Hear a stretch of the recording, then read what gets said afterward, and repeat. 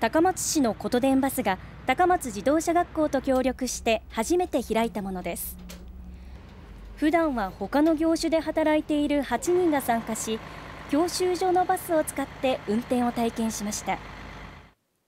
昔からあのバスの運転士という仕事に、ま、憧れを持ってましたんで死亡する人が少なくなるのは仕方ないと思うんですけれどもやりがいがある仕事ではあると思うので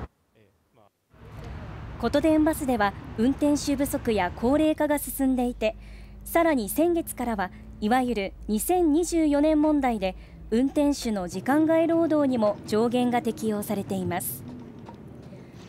琴電バスは人手不足のため先月全体の4分の1にあたる329便の減便に踏み切りました。意外とできるなっていうところをねあの体感していただければやりがいのある仕事っていうところをですね認識していただきたいなと。